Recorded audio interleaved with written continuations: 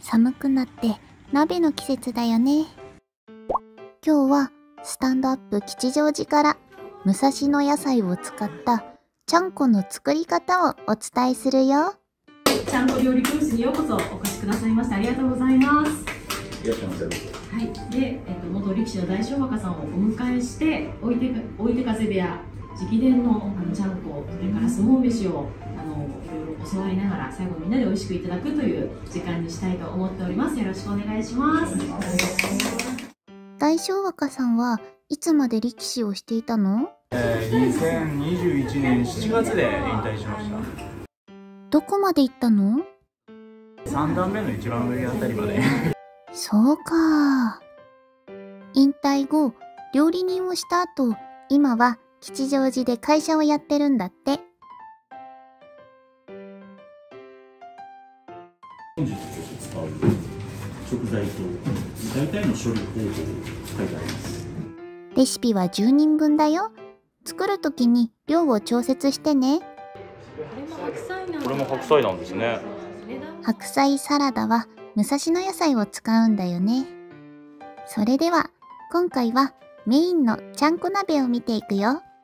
いよいよスタートまずは食材を切るよ。ひたすら切ってるね。スープを作るよ。かつおと昆布の出汁だよ。ニンニクとお酒を入れます。安いのでもいいので、日本酒を使ってもらうと全然風味変わってくるんで、味の決め手はごま油。こんなに入れるんだね。豚肉を入れて塩と胡椒で味を整えて残りの具材をどんどん入れるよ。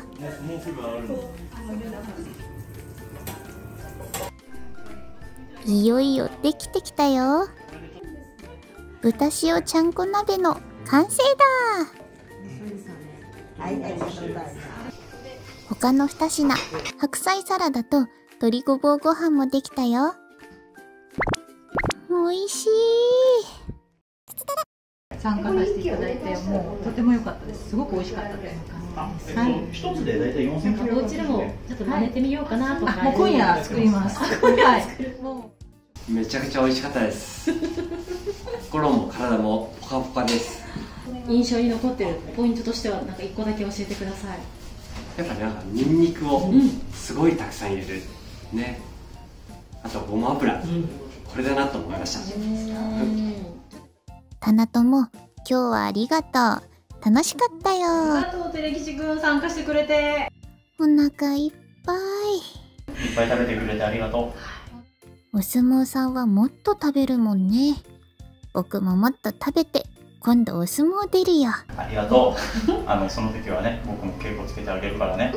よよろしくお願いします。ということで今日は大正若さんとちゃんこへの初コラボということでちゃんこ料理教室を開催させていただきました。どうも本当に参加してくださった皆様ありがとうございました。具材は自由自在で食べると元気になるちゃんこ鍋。キチテレも美味しいちゃんこ鍋みたいなチャンネルにしていかないとね。みんなも作ってみてね。